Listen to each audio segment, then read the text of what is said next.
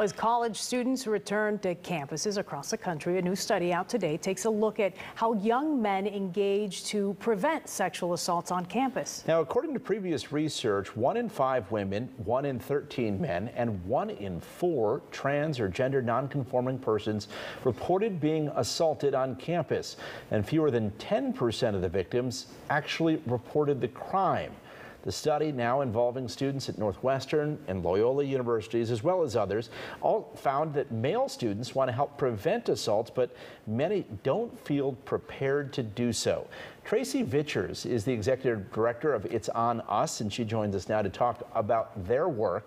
Tracey, thanks for being with us. Thank you so much for having me. Let's start there. I think it's so interesting because, you know, in the last decade or so, so many colleges and universities have talked about their programs to educate people about, you know, what is assault and what is date rape. But yet you guys found that many men just don't feel empowered to do anything to, to stop or to intervene, to stop others or to intervene.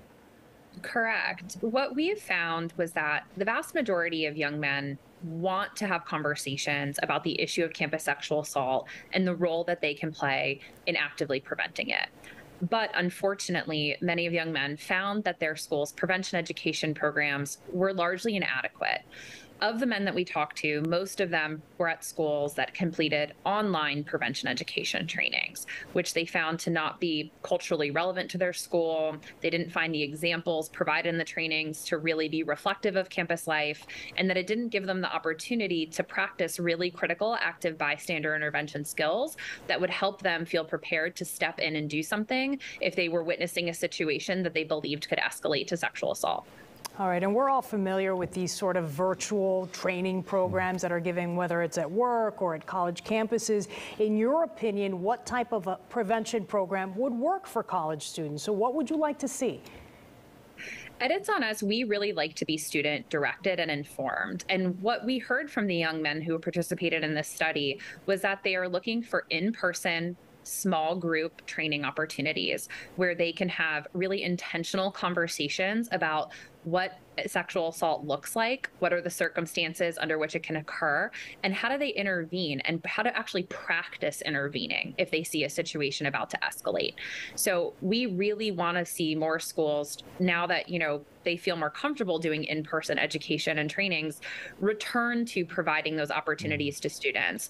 We also found that the students don't want just a once and done approach. They don't want to just hear about this issue during freshman orientation or at the start of classes. They would prefer to have smaller doses of prevention education throughout the academic year to help them continue the conversation and build additional skills. But Tracey, you guys also found that it matters how the school deals with reports of sexual assault and people who you know, were found found guilty or found culpable for inappropriate conduct. Absolutely. One of the things that young men mentioned throughout the study was that the way that their school handled an incident of sexual assault really impacted their perception of the problem. So, for example, students where they may have had one high profile incident of sexual assault happen that was highly publicized felt that the way that their school presented it was that it was a one off incident, mm. not that this was actually a significant issue affecting multiple students throughout the year. We also found that young men really had a sense of distrust distrust of the ways that their institutions responded to these high profile incidents. They felt that the schools could just kind of afford to sweep them under the rug, not really address them, and then that really impacted the way they thought about this issue. For example, one of the one men one of the young men that we spoke with basically said that if my school is not taking this issue mm-hmm. seriously, why should I? Yeah, so they want a little bit more transparency. Tracey Vitchers, we appreciate your time, Executive Director with It's On Us. Thank you. Thank you so much. Well